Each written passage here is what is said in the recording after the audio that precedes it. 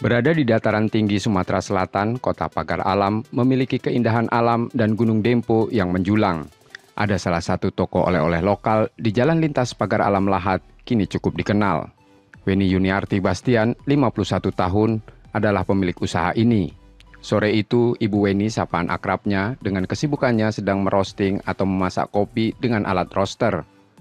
Aroma kopi yang dipanaskan cukup menggugah keluar dari ruangan di belakang toko oleh-olehnya. Dari toko oleh-oleh makanan ringan sejak 2006 lalu ini, pengunjung yang datang selalu menanyakan tentang kopi pagar alam yang memang terkenal sebagai salah satu penghasil kopi di Sumatera Selatan.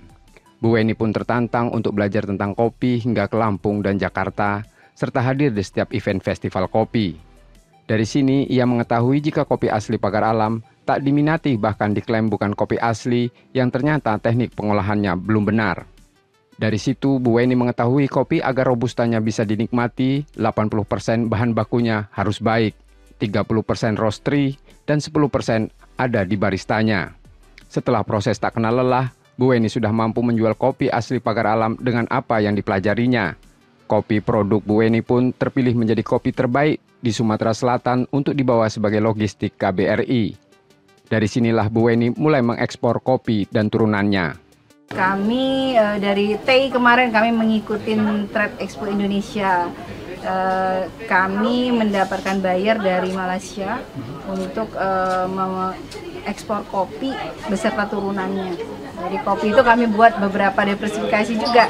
Jadi mulai dari produk turunannya snacknya gitu kan, beberapa macam produk-produk yang berbahan kopi juga.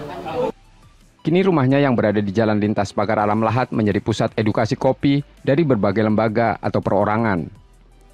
Sebelum berkembang seperti saat ini, usaha tersebut dimulai Bu Weni dari membuat makanan ringan, keripik pisang yang bermodal 50 ribu dan standar pisang hingga menjadi toko oleh-oleh dengan 38 varian.